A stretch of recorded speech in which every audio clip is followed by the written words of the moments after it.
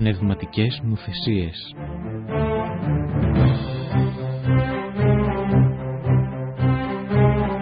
Με τον θεολόγο και φιλόλογο Αρχιμανδρίτη Πατέρα Σάβα Αχιλέος.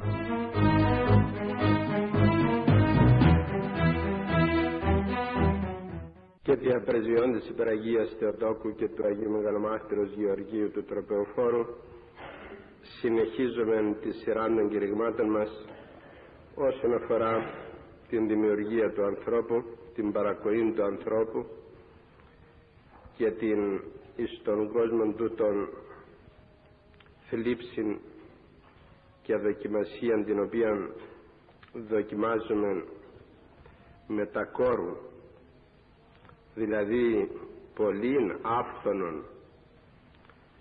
Και εκείνος ο οποίος αγωνίζεται θα αξιωθεί μετά να εισέλθει όχι στον παράδεισο τον οποίο δημιούργησε ο Θεός αλλά στην βασιλεία του την εποράνιο.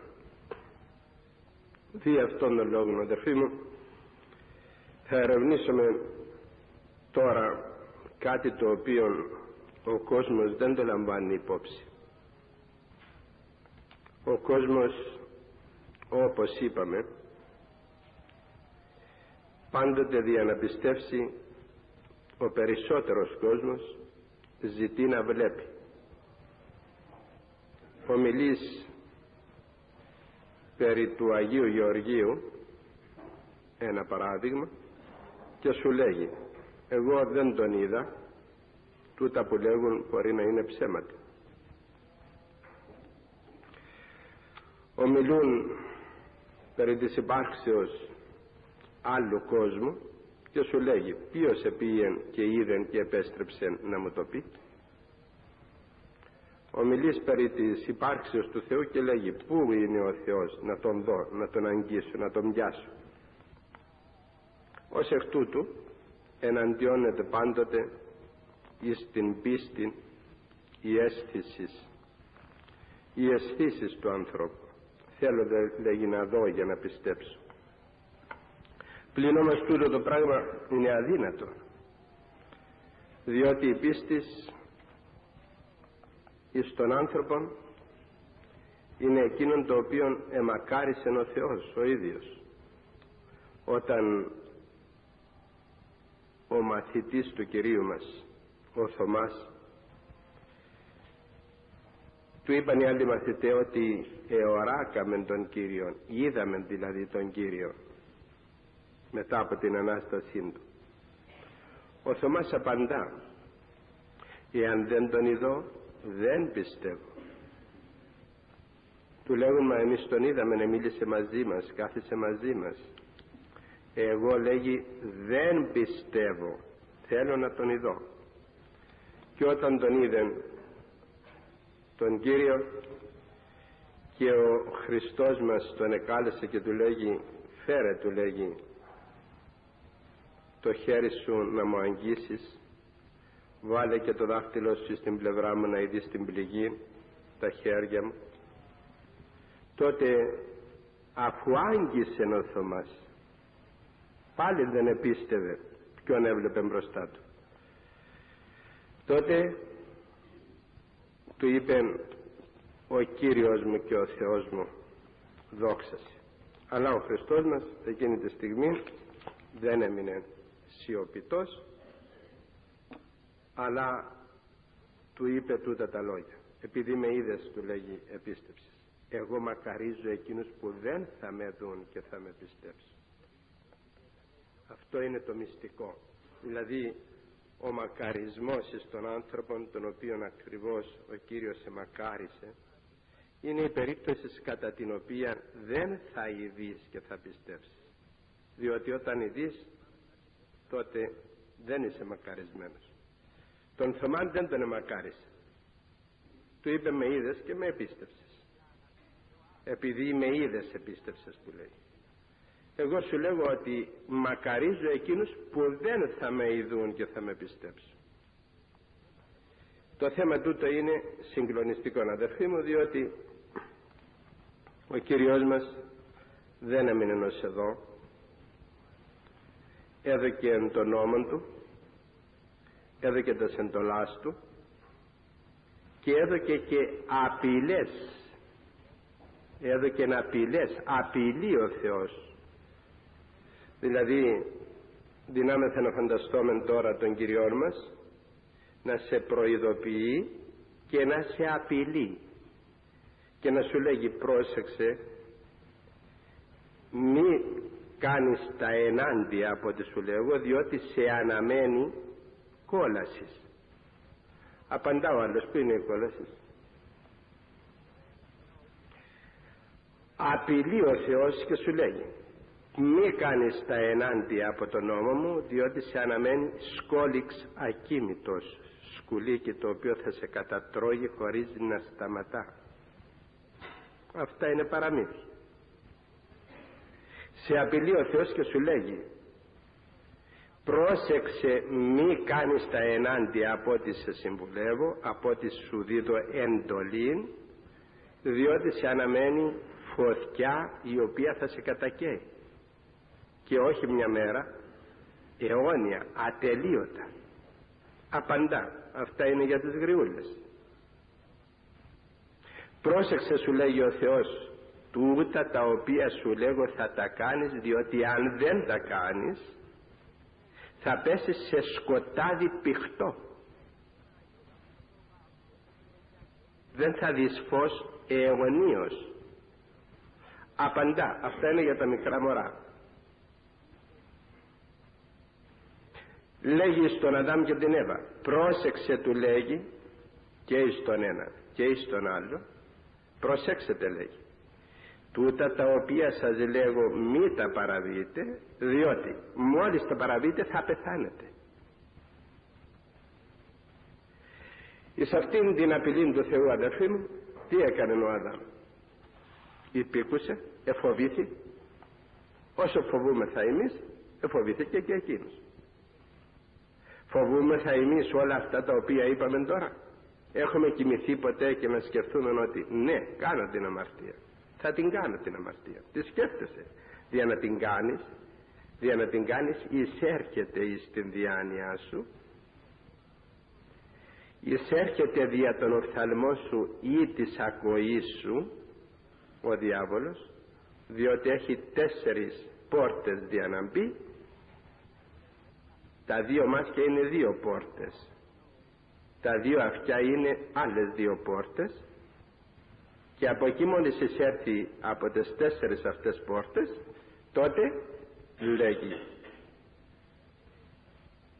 Το Ευαγγέλιο λέγει ο νόμος του Θεού ότι εισερχόμενος λέγει ο διάβολος τότε ο άνθρωπος συλλαμβάνει. Δηλαδή όπως η γυναίκα συλλαμβάνει και μετά γεννά το παιδί της. Κατά τον ίδιο τρόπο ο διάβολος εισέρχεται δια των οφθαλμών και της ακοής στην καρδία. Συλλαμβάνει. Όταν συλλάβει αμέσως αυτό αρχίζει και μεγαλώνει. Και μετά γεννά την αμαρτία. Παράδειγμα. Ο μεγαλύτερος των προφητών εκ του οποίου γεννήθη ο Χριστός μας ο Δαβίδ βλέπει δια των οφθαλμών εισέρχεται δια των οφθαλμών του ο διάβολος. Συλλαμβάνει την αμαρτία στην καρδία του. Μεγαλώνει το παιδί της αμαρτίας. Και στο τέλος γεννά την αμαρτία. Είδε ηρέστη δηλαδή ερωτεύθη. Ή θέλησε την αμαρτία δια της Βιερσαβέ η οποία ήταν η γυναίκα του στρατηγού του την είδε να λούζεται στο δωμάτιό της ο βασιλιάς Δαβίδ την είδε δια των οφθαλμών έμεινε και την έβλεπε εισήρθεν ο διάβολος συνέλαβε στην καρδία του το σχέδιο έστειλε τον στρατηγόν του στην πρώτη γραμμή εσκοτώθη και πήρε τη γυναίκα του. Δηλαδή δια των οφθαλμών εγεννήθη το παιδί της αμαρτίας ή αμαρτία έκανε την πράξη και έγινε το φωνεύς και μοιχός. Δι' αυτής της αμαρτίας εγεννήθη ο Σολομών. Εξ αυτής της αμαρτίας εγεννήθη ο Σολομών. Δεν θα συνεχίσουμε περισσότερο διότι μας ενδιαφέρει η απειλή την οποία ο Θεός δίδει και εμείς δεν τη λαμβάνουμε υπόψη. Στον Αδάμ και την Εύαν τους λέγει προσέξτε τους λέγει μη παραβείτε την εντολή μου διότι από την στιγμή που θα την παραβείτε την εντολή μου την οποία σας δίνω θα αποθάνετε. Τώρα δεν υπάρχει θάνατος τους λέει. Εάν την παραβείτε την εντολή μου θα αποθάνετε. Θα έρθει ο θάνατος. Θάνατος φρικτό πράγμα. Ενώ η δύνατο ο Αδάμ με την Εύα να μην αποθάνουν τώρα στο χέρι τους υπάρχει εις αυτούς απόκειται εις εκείνους μένει η απόφαση ή να αποθάνουν ή να μην αποθάνουν αλλά ο Θεός έδωκε εντολή. Η εντολή η συνέχεια ή το η απειλή. Εντέλεται ο Θεός. Δίδει εντολή αλλά αμέσως δίδει απειλή. Τους λέγει μην την παραβείτε διότι αν την παραβείτε θα αποθάνετε και τι έγινε όταν τους είπε ή δάνει μέρα φάγετε από αυτού θανάτου αποθανείστε από την ίδια στιγμή τους λέγει που θα φάτε από αυτό το δέντρο από αυτό τον καρπό από αυτού του δέντρου την ίδια στιγμή θα αποθάνετε δηλαδή τους λέγει ότι την ημέρα εκείνη που θα τολμήσετε να φάγετε από τον απεικορευμένο αυτόν καρπό θα αποθάνετε την ίδια στιγμή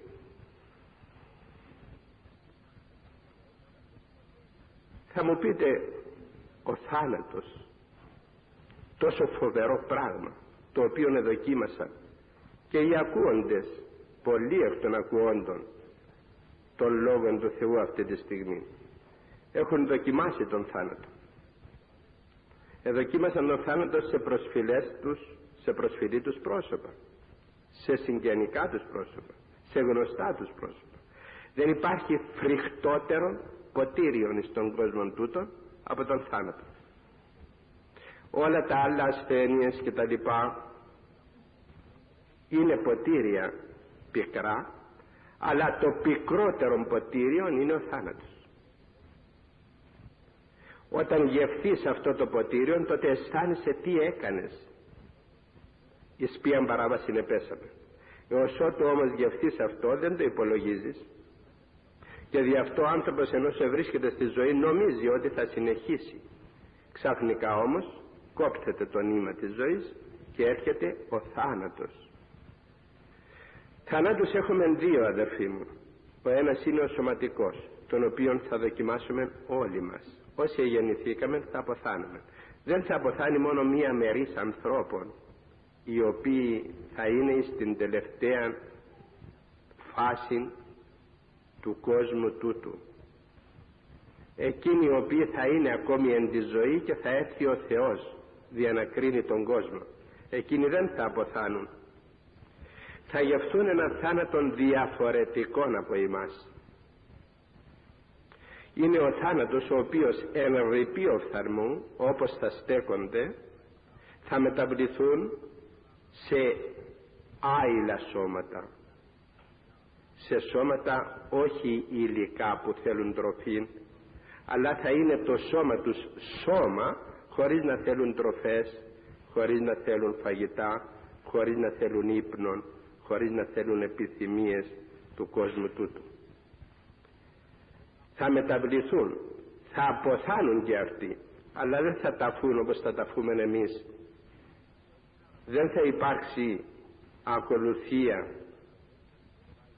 κηδείας όπως θα έχουμε εμείς. Αν αξιοθούμε διότι για τούτο είναι ένα άλλο θέμα πόσοι ευηθίστησαν μέσα στο νερό της θαλάσσης και δεν τους είδε κανείς για να τους πει μία ανακολουθία της Εκκλησίας πόσοι απέθαναν μέσα στους πολέμους και τους κατέφαγαν τα όρνεα τα αιμοβόρα θηρία τα σαρκοβόρα θηρία. Και εκείνοι δεν εγεύθησαν ουδεμιάς επικηδίου τελετής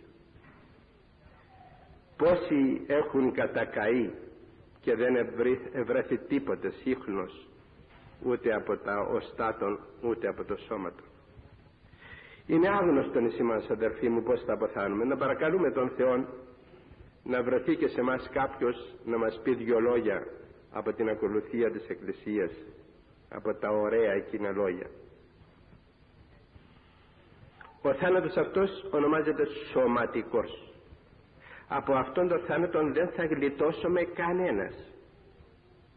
Κάθε μια μέρα που περνά είναι και μια μέρα που μας φέρνει πιο κοντά σε αυτόν τον θάνατο υπάρχει όμως ένας άλλος θάνατος που ονομάζεται ψυχικός. Ο ψυχικός αυτός θάνατος ήρθε αδερφοί μου να μην πλησιάσει κανέναν. Ούτε και τον πιο άσποντον εχθρό μας που έχουμε στον κόσμο τούτο ούτε και των πιο χειρότερων άνθρωπων ούτε και των πιο αμαρτωλών άνθρωπων ήρθε ο Θεός να μην δώσει αυτόν τον θάνατο. Αυτός ο θάνατος που ονομάζεται πνευματικός θάνατος σημαίνει αποκοπή του ανθρώπου εις το παντελές διαπαντός αιωνίως από τον Θεό αυτός ο θάνατος είναι και η κόλαση από αυτόν τον θάνατο αδερφοί μου αφού αγωνιστούμε θα γλιτώσουμε. Εάν δεν αγωνιστούμε όμως δεν θα γλιτώσουμε. Μα αυτός ο θάνατος ο πικρός προήρθε από ένα, μια μικρή παράβαση. Και πόση παράβαση, πόση μικρή παράβαση είπε. Έφαγε από εκείνο το δέντρο. Δεν έφαγε πολύ έφαγε μόνο ένα κομματάκι από εκείνο τον καρπό. Δεν πρόφτασε να τον φάγει όλο διότι εφόραξε στον σύζυγό της και του έδωσε το άλλο μισό δηλαδή ένα κομματάκι το εκείνο το κομματάκι έφερε, έφερε τον θάνατον αυτό το μαρτύριο το οποίο υποφέρει ολόκληρος η ανθρωπότης επί αιώνες ολοκλήρους. Ναι ένα τέτοιο μικρό πράγμα. Αυτό ο καρπός που έφαγε η Εύα και ο Αδάμ αυτό εζήτησε ο Θεός να το φυλάξουν να μην το γευθούν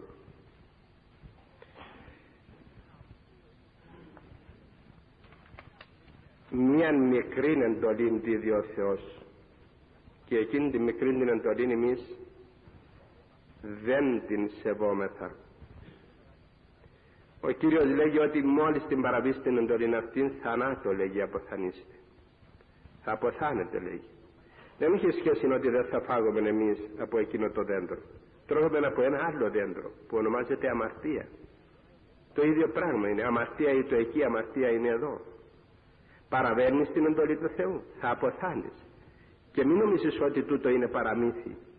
Μην νομίζεις ότι είναι λόγος ο οποίος παρέρχεται.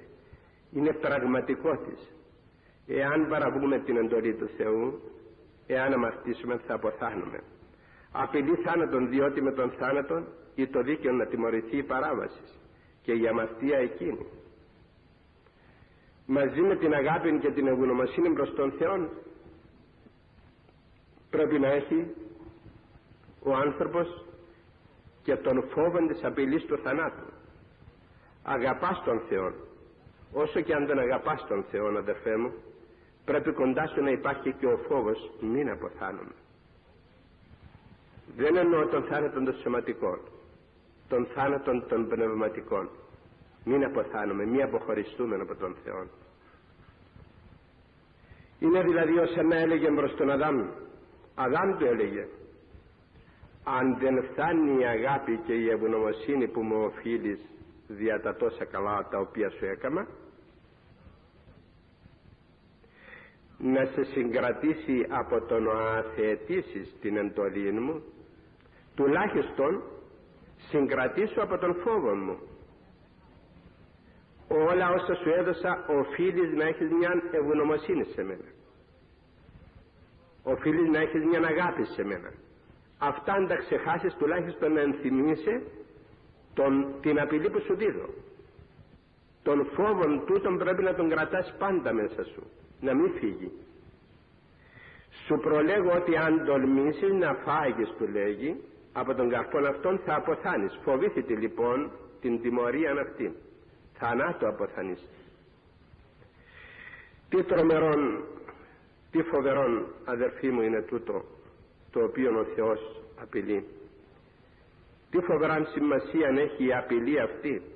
Θανάτου αποθανείστε. Θα αποθάνετε. Προσέξετε πολύ. Είναι θάνατος της ψυχής αποτελούμε του θανάτου αυτού. Ψυχικός θάνατος. Όχι σωματικός. Ύστερα ήρθε ο σωματικός μετά ήρθε ο σωματικός. Ο σωματικός λοιπόν θάνατος τι είναι; Είναι χωρισμός του σώματος από την ψυχή η οποία το ζωοποιεί.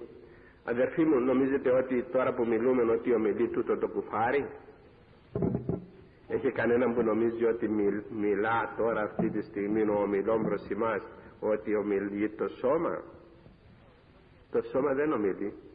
Είναι η ψυχή που ομιλεί. Δεν ομιλεί το σώμα. Η ψυχή ομιλεί.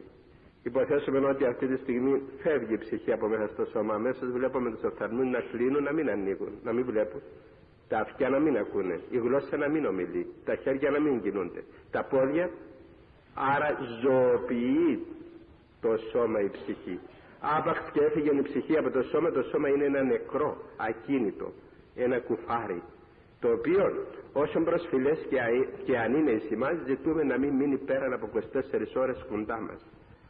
Δηλαδή όζη βρωμή πιο τούτο το σώμα το οποίο καθίμεθα ώρες ολόκληρες να το περιποιηθούμε να το στολίσουμε είναι αυτό το οποίο συμβαίνει πλιστάκης που παρακολουθούμε των κοσμικών άνθρωπων ένας ασκητής περπατώντας στο δρόμο του μία ημέρα είδε μία γυναίκα η οποία ήταν βουτυγμένη σε αυτά τα χρώματα τα, χω, τα πρόσκαιρα. Ή το βαμμένη από πάνω μέχρι κάτω ή το στολισμένη με τα χρυσά. Την είδε και μόλις την είδε άρχισε να κλαίει. Και τον ερώτησε ο υποτακτικός του το παιδάκι που ήταν μαζί του του λέει γέροντα μου γιατί κλαις; Κλαίω του λέγει γιατί αυτή η γυναίκα αγωνίζεται για να κάνει κάτι να αρέσει στου τον κόσμο. Εγώ λέγει δεν έκανα τίποτε για να αρέσω στο Χριστό μου. Ο άνθρωπος αγωνίζεται για να αρέσει στον κόσμο τούτον. Στολίσματα, βαψίματα, ντυσίματα, χτενίσματα τα πάντα τον βλέπεις να αγωνίζεται μέρα νύχτα πως να αρέσεις στον κόσμο πως να γίνει αισθητός, πως να δώσει εντύπωση πως να τον προσέξουν είναι τούτον το οποίο ακριβώς εμφανίζεται πλιστάκης όχι εκτός της εκκλησίας εντός του ιερού χώρου της εκκλησίας. Εις μία περίπτωση ακριβώς ερώτησα ένα πνευματικό μου παιδί λέγω αυτά τα κόκκινα τα νύχια γιατί τα βάψες; Επήγα λέγει στη βάφτιση και όταν πήγε στη βάφτιση λέγω έκανες τούτο το πράγμα. Ναι λέγει μα εκεί είναι μυστήριο παιδί μου γιατί έπηγες έτσι. Δηλαδή πάμε στα μυστήρια για να δείξουμε την κοσμική ματαιότητα. Στο μυστήριο το φοβερό του Θεού. Ερχόμεθα στην εκκλησία εισερχόμεθα μέσα στον ναό. Περιμένουμε το μυστήριο το μέγα της σταυρώσεως της ταφής της Αναστάσεως του Κυρίου μας. Πως πηγαίνουμε; Είπα και εξακολουθώ και το επαναλαμβάνω. Δεν επιτρέπεται γυναίκα χωρίς μαντιλάκι στο κεφαλάκι της. Δεν μπορεί να εισέλθει μέσα στον ναό του Θεού να προσευχηθεί η γυναίκα χωρίς να έχει πάνω στο κεφάλι της ένα μαντιλάκι. Το είπα πόσες φορές το έχω πει. Δεν θα βαρεθώ να το λέγω θα το λέγω πάντοτε. Έως ότου το καταλάβαμε. Δεν είναι επιθυμία δική μου είναι εντολή του Θεού. Παραβαίνεις στην εντολή του Θεού παραβαίνει και ο Αδάμ και η Εύα αυτή τη στιγμή. Παραβαίνει και ο Αδάμ και η Εύα την εντολή του Θεού. Κάθε αγιογραφικό χωρίο είναι εντολή του Θεού διότι δεν το έγραψε άνθρωπος. Το έγραψε ο Θεός ο ίδιος. Δεν επιτρέπεται λέγει η γυναίκα να πηγαίνει ακάλυπτη στην εκκλησία. Γιατί; Το είπε ο Θεός. Γιατί το είπε; Δουλειά δικιά του μπορεί να ελέγξεις τον Θεό τις εγνωνούν Κυρίου ή τις σε γίνεται ο σύμβουλος αυτού. Εσύ οφείλεις να υπακούσεις. Εάν δεν υπακούσεις τότε έρχεται αυτό το οποίο λέει θανάτου αποθανείς και αν παραδένεις μία λέξη της Αγίας Γραφής είσαι αιρετικός. Κατατάσσεσαι στην τάξη των αιρετικών η Αγία Γραφή δεν σηκώνει παράβαση εάν το έξω από την Αγία Γραφή να το έλεγαν Άγιοι της Εκκλησίας πάλι οφείλαμε διότι οι πατέρες της Εκκλησίας ήσαν πνευματοφόροι έφεραν τη χάρη του Αγίου Πνεύματος. Και εκείνοι εάν το έλεγαν οφείλαμε εμείς να τους ακούσουμε. Αλλά δεν το λέγουν εκείνοι. Το λέγει ο Θεός ο ίδιος η Αγία Γραφή. Άρα έχεις υποχρεώσει να το ακούσεις. Θανάτου αποθανίστε το σώμα λοιπόν όταν φύγει η ψυχή από μέσα τότε τι γίνεται; Αειδιάζει να το πλησιάσει. Φουσκώνει μαζί με τον όλων οργανισμών εκβάλλει δυσοδεία ανυπόφορο. Σαπίζει σιγά σιγά και διαλύεται εντός ολίγου. Τι ευχαρίστηση που εδοκίμαζε πρωτήτερα όταν ήταν στη ζωή το σώμα αυτό; Να ερωτήσουμε τον άνθρωπο. Κάνει το παν για να αισθανθεί μια ευχαρίστηση. Η ευχαρίστηση αυτή όμως μεταβάλλεται εντός ολίγου σε δυσοδεία. Τι δόξαν και τι μεγαλοπρέπεια αν είχε προηγουμένως. Να σας μεταφέρω λίγο σε αυτούς τους πολιτικούς για να δείτε. Προχωρούν στους δρόμους τους στολίζουν με άνθη τους ρένουν με άνθη τους υποδέχονται παρατάσσονται στρατεύματα παρατάσσονται φιλαρμονικές τους κάνουν τιμές. Την επομένη είναι νεκρό σώμα το οποίο δεν θέλει να το δει κανείς. Αυτός είναι ο άνθρωπος. Βασίλισσα στολισμένη στο θρόνο της. Την επομένη δεν υπάρχει.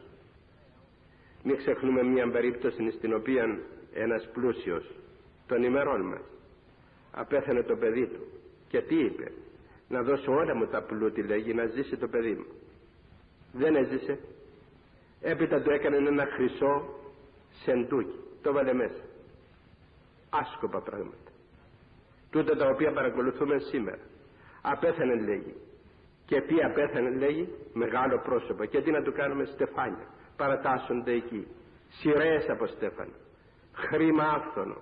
Σπαταλάτε για να δώσουν τις τελευταίες αυτές στιγμές εις έναν αποθαμένο τι να τον κάνει; Θέλω λέγει στην κυρία μου να έρθουν δεσποτάδες να έρθουν παπάδες να έρθουν φιλαρμονικές να έρθουν χοροδίες. Να τις κάνεις τι; Ήσουν κοντά στο Θεό; Δεν γνώρισε τον Θεό. Και τώρα τι θα κάνεις αυτά; Τα μπορούσαν αυτό, μπορούν αυτά, δίνονται αυτά να δώσουν τίποτα στη ψυχή; Τίποτα δεν δίνουν ο Χριστός μας ετάφη με ένα σεντόνι. Και όχι μόνο ετάφη με ένα σεντόνι και μόνος του. Δεν μπορούσε να πλησιάσει κανείς. Μόνον δύο ο Ιωσήφ και ο Νικόδημος. Αδελφοί μου τα μάτια και τη ματαιότητα ήθελα πολύ να τα προσέξουμε αυτά τα δύο. Τα μάτια και τη ματιότητα αυτά είναι εκείνα τα οποία δίδουν στον άνθρωπο τη ψευδέστηση ότι θα ζήσει. Δεν θα ζήσουμε. Φεύγουμε.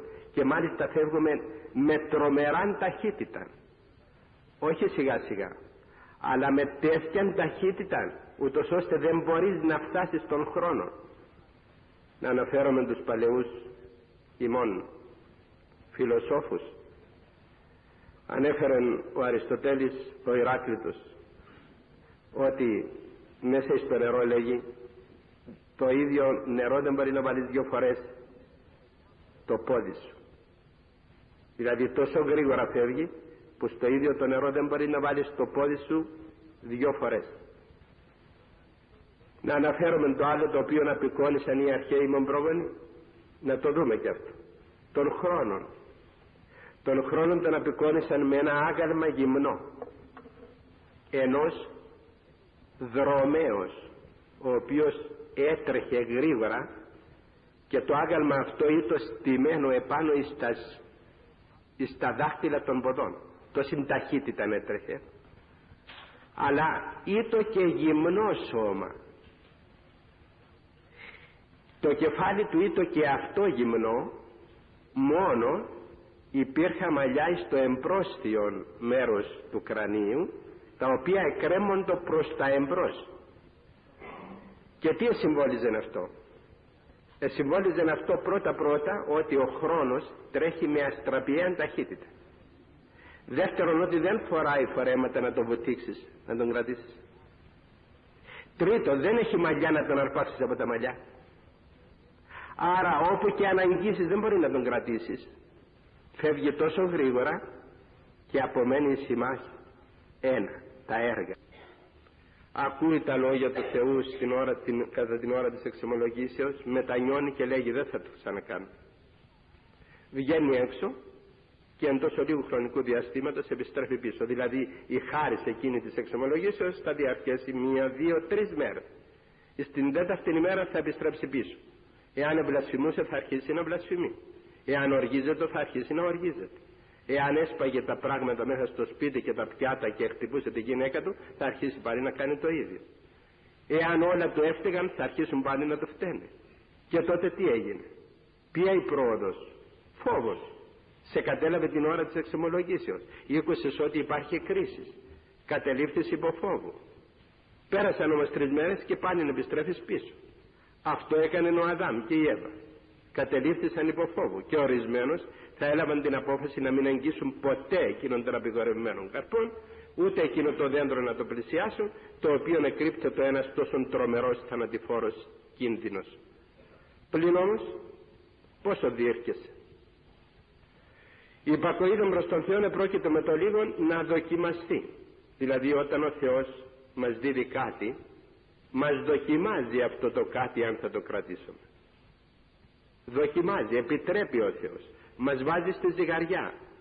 Είναι εκείνο το οποίο αναφέρεται στον Ναφουγοδονόσορα ο οποίος επήρε τα σκεύη του Ιερού Ναού και τα ευεβήλωνε έπινε μέσα εις αυτά τους σύνους και εχλέβαζε τον Θεό εκείνη τη στιγμή όμως που εκάθετο στο τραπέζι με τους μεγιστάνες και έτρωγε και έπινε με τα ιερά σκεύη του ναού εκείνη τη στιγμή παρουσιάστηκε πάνω στον τοίχο ένα όρατο χέρι και έγραφε το χέρι εκεί Μανίλ Θακέλ Φάρες Εζυγίστης Εμετρήθης και βρέθης λυψός. Και την ίδια στιγμή παρεφρόνησε ο Ναυκοδονός έγινε τρελός. Δεν είναι το, εκείνο το πράγμα μικρό. Αδερφοί μου δεν μπορούμε αυτή τη στιγμή να εμπέζουμε τα θεία, να εμπέζουμε τις εντολές του Θεού, να λέγουμε άστον να λέγει, διότι αυτά είναι πράγματα τα οποία είναι εις βάρος μας. Οι πρωτόβλαστοι λοιπόν δίκαιων ή το αλλά και αναγκαίων δια την πνευματική τους πρόοδον να δοκιμαστούν. Μας δοκιμάζει ο Θεός πολυτρόπος, με πολλούς τρόπους ποικιλοτρόπος με ποικίλους τρόπους. Μας δοκιμάζει αφάνταστα ο Θεός όπως δοκίμασε τον Αδάμ και την Εύα. Μας στέλνει θλίψεις μας στέλνει στενοχωρίες μας στέλνει πειρασμούς. Αναφέραμε στο κήρυγμα την Κυριακή ότι ο Πέτρος επάνω στη θάλασσα είχε τρεις εχθρούς το νερό, τα κύματα και τον αέρα. Έχει πίστη, προχωρεί σε μια στιγμή όμως χάνει την πίστη του. Η θάλασσα γίνεται υγρό όπως ήταν προηγουμένως στοιχείο και τον καταπίνει. Τα κύματα ανεβαίνουν ο αέρας φυσά. Και ερμηνεύσαμε και είπαμε ότι η θάλασσα είναι τούτος ο κόσμος. Κύματα είναι τα πάθη μας. Αέρας σφοδρός είναι οι πειρασμοί του διαβόλου. Και πρέπει να προσέξουμε όλα αυτά τα πράγματα είναι μπροστά μας. Εμείς έχουμε ένα καθήκον να αγωνιζόμεθα. Δοκιμάζεται ο Αδάμ και η Εύα. Αλλά υπάρχει ένας εχθρός ο οποίος παραμονεύει. Και αυτός ο εχθρός υπάρχει πρώτου Αδάμ και της Εύας. Είναι προηγουμένος από αυτούς. Παρεστράτησε παρέβει την εντολή του Θεού. Ή θέλησε να ανέβει πάνω από τον Θεό. Ή το εωσφόρος ο εχθρός του ανθρώπου ο αόρατος εχθρός. Αυτό που δεν τον βλέπουμε. Ο εωσφόρος ή το εις εκ των αρχηγών των δέκα ταγμάτων των ουρανίων ή το πλησιέστερος προς τον Θεόν ο φωτεινότερος από όλους τους αγγέλους ο ιστάμενος δίπλα από τον Θεό. Πως εισήλθε η αμαρτία εις αυτόν. Πού ευρέθηκε η αμαρτία; Δεν υπήρχε αμαρτία. Μυστήριο. Μέγα μυστήριο παραμένει. Που ευρέθηκε η αμαρτία ενώ το ανύπαρκτος. Ο διάβολος ο Εωσφόρος θέλει να ανέβει πάνω από τον θρόνο του Θεού. Την ίδια στιγμή πίπτει από τον ουρανό. Σαλεύονται δυνάμεις εουράνιες παρασύρει μαζί του ένα τάγμα από τους αγγέλους εκείνους. Μεταβάλλονται εις δαίμονας. Τους έχουμε σήμερα και μας πειράζουν. Αυτός ο Ιωσφόρος αφού έχασε τη θέση του αφού έχασε το κάλος του αφού έχασε τη φωτεινότητά του τώρα γίνεται εχθρός του ανθρώπου. Και ποιου ανθρώπου; Δεν υπήρχαν άνθρωποι πάνω στην γη. Υπήρχαν μόνο δύο άνθρωποι. Ε αυτούς τους δύο ανθρώπους δεν θέλει να τους βλέπει. Και μάλιστα πού να τους βλέπει; Στον παράδεισο μέσα σε εκείνη την ευτυχία τη μεγάλη. Δεν του αρέσει. Θέλει να τους βγάλει από εκεί μέσα. Και όχι να τους βγάλει απλώς. Να τους δώσει τον θάνατο. Το επέτυχε το επέτυχε. Γιατί διότι έφυγε ο φόβος του Θεού από μέσα στην ψυχή του Αδάμ και της Εύας. Τρέφει αισθήματα υπερήφανα. Λαμβάνει αποφάσεις αποστασίες κατά του Θεού. Δεν θέλει να πειθαρχεί στον Θεό ποιος παραλογισμός ποια τύφλωσης δεν θέλει να υπαρκούσει στον Θεό αλλά δεν είναι μόνο ο Αδάμ και η Εύα που έγιναν αποστάτες. Σήμερα εμείς τα τέκνα των αποστατούμε κάθε κάστην ημέρα. Πράττουμε το κακό. Δεν σταματούμε ποτέ. Αποστατούμε όπως απεστάτησε ο Εωσφόρος ο άγγελος του Θεού ο αρχηγός. Ο άνθρωπος ακόμη δεν είχε δημιουργηθεί στον κόσμο όταν έπεσε ο διάβολος από τον θρόνο του. Πρώτος ο κακούργος εκείνος επενόησε και πρώτος ανέλαβε να αμαρτήσει και ημάρτησε. Ημάρτησε ο κακούργος αλλά και ο Θεός δεν τον αφήνει να προχωρήσει στο τέλος. Επιτίθεται εναντίον του ανθρώπου παρασύρει τον άνθρωπο. Αλλά και ο Θεός αναλαμβάνει να τον σώσει. Θεέ μου πως είναι αγάπη να έχεις σε εμάς τους αμαρτωλούς. Ενώ θα καταδικασμένοι λόγω της αποστασίας μας έρχεσαι εσύ να μας σώσεις να μας ανεβάσεις εκεί όχι που είμαθα προηγουμένως πιο πάνω κοντά σου. Μην επιστόλει λέγει παιδί μου και δώσω σε τον Στέφανο της ζωής. Θα σου δώσω να καθίσεις μετ' εμού εν τη βασιλεία μου. Μετ' εμού να καθίσεις κοντά μου στη βασιλεία μου.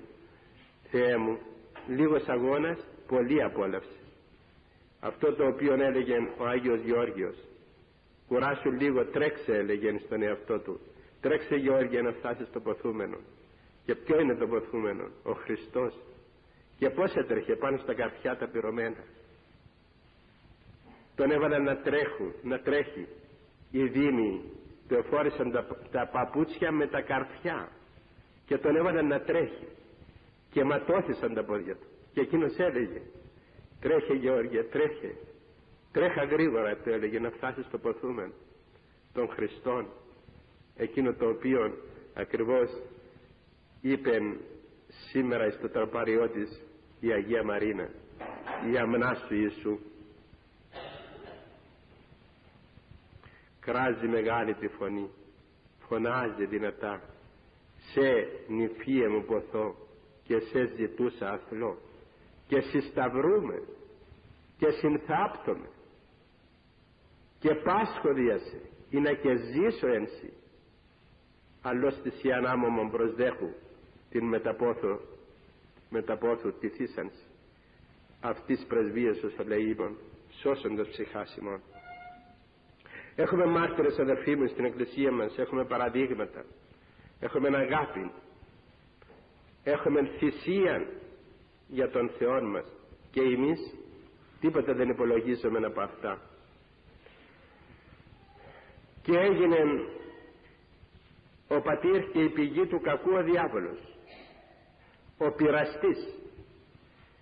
Διότι αμέσως εφαρμόζει το σχέδιό του. Λέγει ο Θεός εις τον Αδάμ και την Εύα. Μη παραβείς διότι αν παραβείς την εντολή μου θα αποθάνεις. Και τότε λαμβάνει δράση ο κακούργος αυτός ο οποίος και σήμερα μας πολεμά. Είναι τούτο το οποίο Μπλιστάκης μου αναφέρει ο Σάκης του απευθύνω το ερώτημα γιατί πειράζεις τα παιδιά του Χριστού μου του λέω. Γιατί τα πειράζεις κακούρια απαντά εκείνος τη δουλειά μου κάνω με πολεμάς όπως σε πολεμώ και να μεταβούμε στον Άγιο Αντώνιο ο οποίος του έλεγε δεν φοβάσαι που νηστεύω όταν τον έπιασε και τον έδεσε ο Άγιος Αντώνιος του λέγει δεν με φοβάσαι που νηστεύω απήντησε δεν τρώγω καθόλου δεν φοβάσαι που αγρυπνώ εγώ δεν κοιμούμαι καθόλου του λέει. Δεν φοβάσαι που προσεύχομαι. Δεν σε αφήνω να προσευχηθείς. Δεν φοβάσαι που ταπεινώνομαι. Και τότε έσκασε ο διάβολος. Δηλαδή θέλεις όπλο να κυνηγήσεις τον εχθρό ταπεινώσου αδερφέ μου. Γι' αυτό μας έδωκε τη μύτη μας ο Θεός να βλέπει προς τα κάτω. Δεν την έδωσε να βλέπει προς τα άνω. Γι' αυτό πρέπει να προσέχουμε ιδιαίτερα ότι ένα μεγάλο όπλο εναντίον του διαβόλου είναι η ταπείνωση. Ακατανίκητο. Γιατί, διότι ο Θεός εταπεινώθη πρώτος για μας.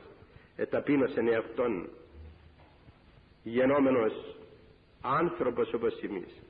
Και όχι μόνο άνθρωπος, έφτασε στον θάνατο και τι θάνατο; Σταυρικών άχρη θανάτου θανάτου δε σταυρού γι' αυτό οφείλουμε να είμαστε ταπεινοί αδερφοί μου δεν μπορούμε να έχουμε μέσα μας εκείνο το εγώ να υπάρχει.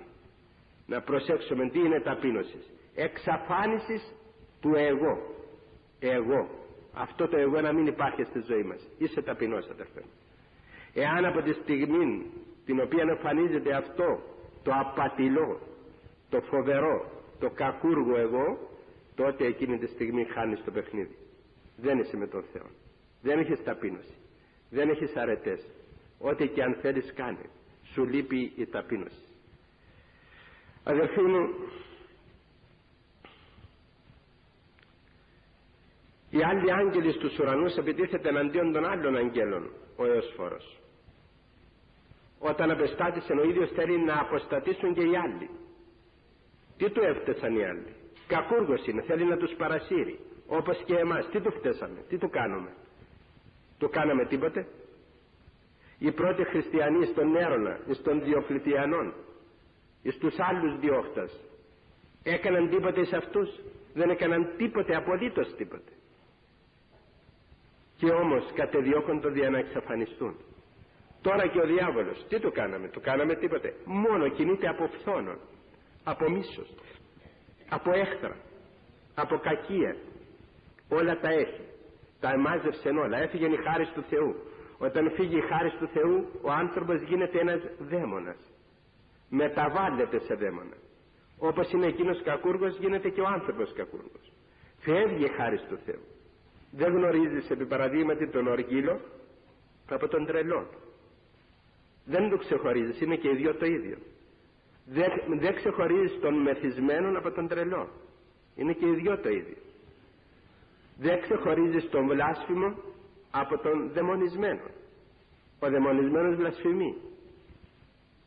Ο άνθρωπος ο οποίος έφυγε η χάρη του Θεού βλασφημεί.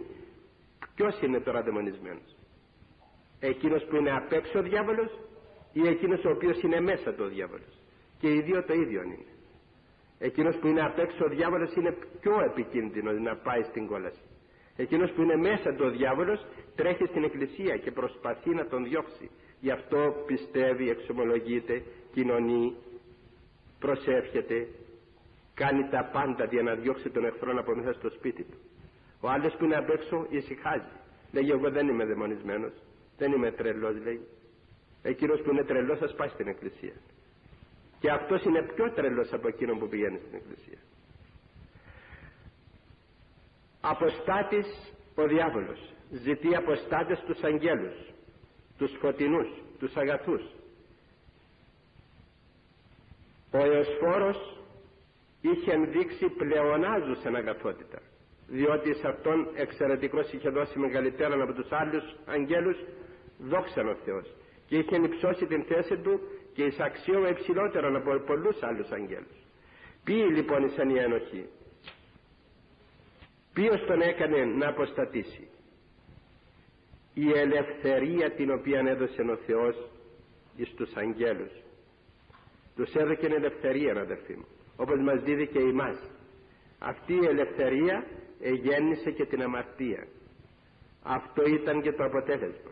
Ενώ όσο ήταν κοντά στον Θεό ήθελε να ανέβει πάνω από τον Θεό και μετεβλήθη εις δαίμοναν. Εισχωρεί λοιπόν στον παράδεισο της τρυφής ο πονηρός δαίμον δεν τον φτάνει ότι παρέσυρε την αποστασία εις την αποστασία τόσους αγγέλους. Θέλει να συμπαρασύρει και τον άνθρωπο η μανία του είναι να μην βλέπεις σκιά ανθρώπου επάνω στην γη. Γιατί έβλασε τον Αδάμ και την Εύα; Γιατί τους έβαλε μέσα στον παράδεισο; Και εκείνος εστερήθηκε τώρα την δόξα του. Εφόσον εστερήθηκα εγώ λέγει θα σε εστερήσω και εσένα ο κλέφτης θέλει ακόμη ένα κλέφτη κοντά του ο ψεύτης ακόμη ένα ψεύτη. Ο βλάσφημος ακόμη ένα βλάσφημο και βλέπουμε αδερφοί μου στους δρόμους και τα δικά μας τα παιδιά να συμπαρασύρονται με κακές παρέες για να γίνουν και εκείνα όμοια με τους άλλους. Και σε αυτήν όλη την έχθρα που τρέφει ο διάβολος εναντίον του Αδάμ και της Εύας εισχωρεί μέσα εις τον παράδεισο και στερηθής της χάριτος του Θεού έγινε όλος κακός σκέπτεται και εννοεί και θέλει πάντοτε το κακό για να εννοήσεις περισσότερο αδερφέ μου τι θα πει τούτο πρέπει να μην λησμονείς ότι ο Θεός εάν από το ένα μέρος έβλεπε τον σατανάν να μπαίνει μέσα στον παράδεισο να ξεγελά την Εύαν και δι' αυτής έπειτα τον Αδάμ έβλεπε όμως και από το άλλο μέρος ότι μίαν ημέρα θα εξεγελά το ο διάβολος από τον ίδιο τον Θεόν από τον Υιόν της Παρθένου ο οποίος θα ήρθε να γιατρεύσει την πληγή και τον πόνο του Αδάμ και της Εύας η δύνατο να εμποδίσει τον διάβολο να μην μπει μέσα στον παράδεισο εκείνος είχε την εξουσία όλη. Είναι τούτο το οποίο ακούω με μπλιστάκες. Εφόσον με έβλεπε ο Θεός λέγει να μαθαίνω γιατί δεν με εμπόδισε; Ήθελε το κακό μου ο Θεός λέγει έπρεπε να με εμποδίσει. Όχι αδερφέ μου σου έδωκε την ελευθερία σου είσαι ο ελεύθερος να κάνεις ό,τι θέλεις δεν επεμβαίνει ποτέ ο Θεός στη ζωή μας. Δεν επεμβαίνει στην ελευθερία μας.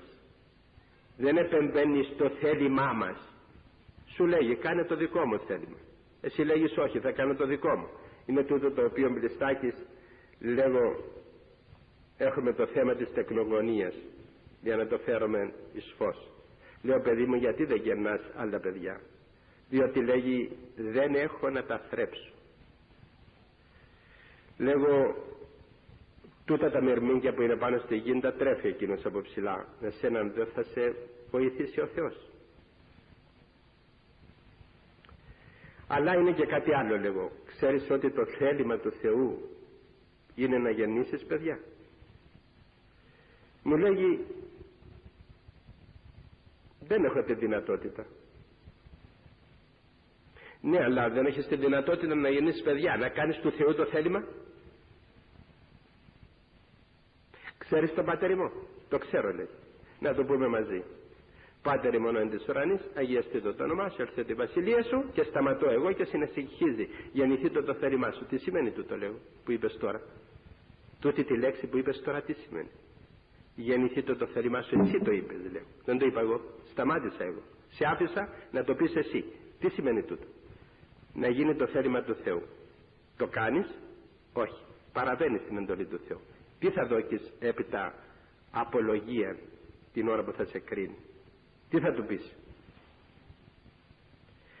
Αυτά είναι αδερφοί μου τα σημερινά τα οποία έχουμε μπροστά μας, τα οποία υπάρχουν στο δρόμο μας, τα οποία δεν τα βλέπουμε, δεν τα υπολογίζουμε μάλλον. Και έρχεται η στιγμή κατά την οποία θα δώσουμε λόγο και τότε ο Θεός δεν συζητά όπως εμείς. Λέγει μονολεκτικός. Έκανες το θέλημά μου ναι ή όχι. Δεν χωρείς συζητήσεις και δικαιολογίες. Θα τις δούμε παρακάτω. Παρακάτω θα δούμε.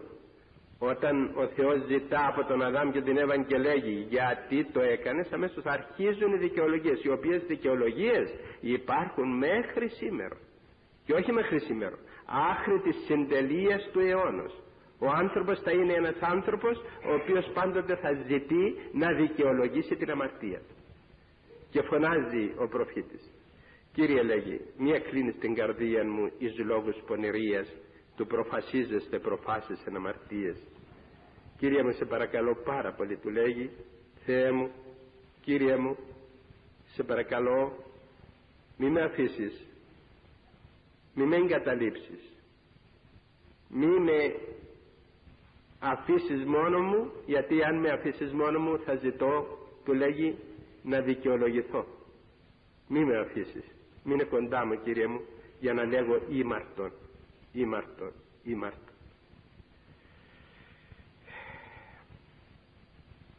Ποιος τον ενάγκασε τον διάβολον ή ποιος τον παρεκκίνησε να επαναστατήσει κατά το Θεό; Κανείς απολύτως σου δεις. Αλλά τόσο και ο άνθρωπος, εάν χωρίς δοκιμασία και χωρίς αγώνα εκέρδιζε τον ουρανό αδερφή μου, ή το δυνατόν να πέσει από εκεί και αλίμονον τότε. Αλίμονον διότι πλέον δεν θα υπήρχε καμία ευπής διορθώσεως δι' αυτόν. Από όσον υψηλότερο μπήκε κανείς τόσο η καταστροφή του είναι και μεγαλύτερα και τόσο κατασυντριμός είναι τρομακτικότερος και αθλιότερος.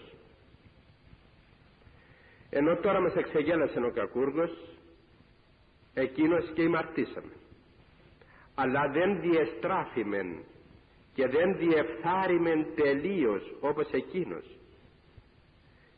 Μας παρεκκίνησε και αμαρτήσαμε μένει όμως μέσα εκείνο που λέγεται αγάπη προς τον Θεό και τον αγαπούμε τον Θεό και αγωνιζόμεθα να πάμε κοντά του ενώ εκείνος διεστράφει παντελώς και δεν έμεινε μέσα τίποτε στον εαυτό του ελπής επιστροφής. Όσοι τώρα κατακτήσουν τον ουρανό δεν υπάρχει πλέον φόβος να το χάσουν. Η δοκιμασία την οποία εδώ στην γη περνούμε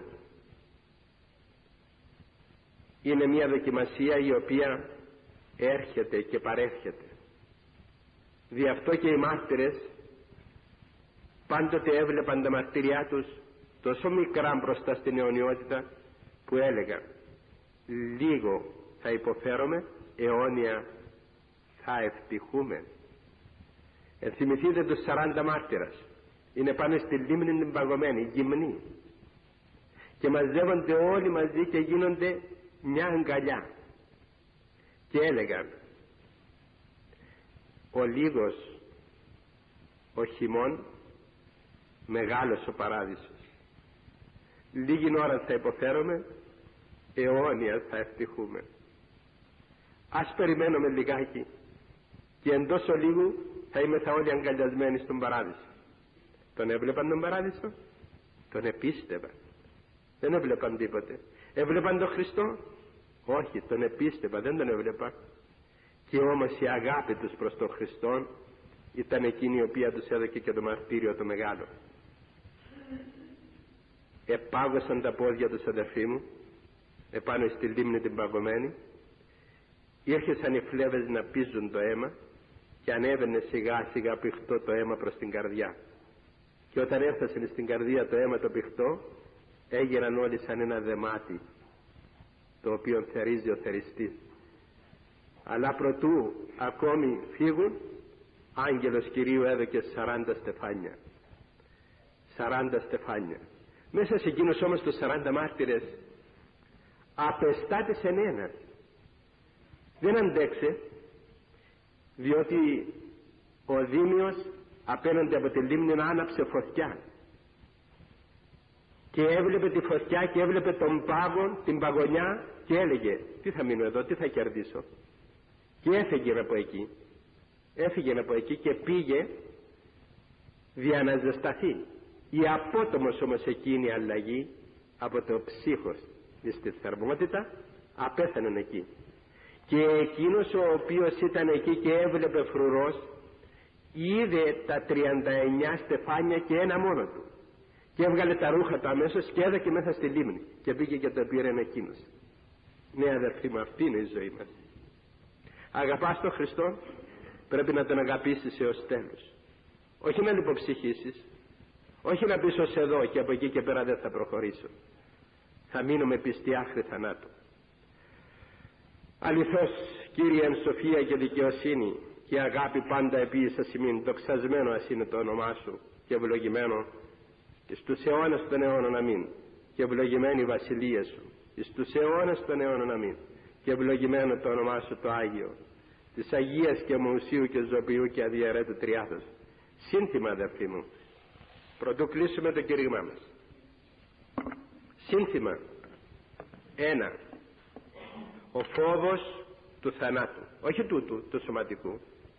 Αυτό δεν είναι τίποτε αδερφοί μου. Υπάρχουν μερικοί οι οποίοι εδοκίμασαν και έφτασαν στο χείλος του θανάτου και αφηγούνται ότι είναι τόσο γλυκής ο θάνατος λέγουν. Ανοίχθηκε μπροστά μου. Θυμούμαι όταν είχα μια περίπτωση ενός που τον έπιασαν οι Γερμανοί και τον εκτέλεσαν και έπαιξε τον πεθαμένο. Και είδε πραγματικά λέγει μπροστά μου είδα τον θάνατο.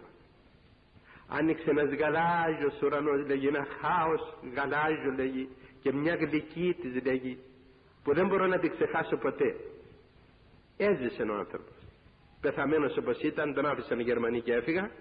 Και εκείνος μέσα σε εκείνη την επιθανάτιον στιγμή ξαφνικά άνοιξε τα μάτια του και ήρθε πίσω. Έμεινε παράλυτος ή το παράλυτος. Αλλά δεν έπαψε ποτέ να λέγει το τι είδαν τη στιγμή εκείνη του θανάτου. Ο θάνατος τούτος δεν είναι τίποτε αδερφοί μου. Είναι γλυκής, γλυκύτατος. Ο θάνατος ο ψυχικός να μας φυλάει ο Θεός και τούτο το οποίο είπε στον Αδάμ και την Εύα πρέπει να το έχουμε πάντοτε προσέχετε μη παραβείτε τον νόμο μου διότι θα αποθάνετε αυτό πρέπει να το έχουμε πάντοτε υπόψη μας και με αυτό να περάσουμε την εβδομάδα μας για να βρεθούμε την ερχομένη Τετάρτη την ίδια ώρα. Βοήθεια μας.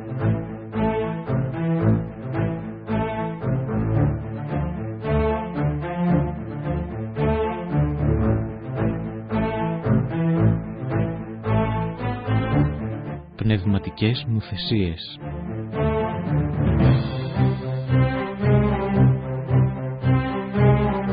με τον θεολόγο και φιλόλογο αρχιμανδρίτη πατέρα Σάβα Αχιλέος.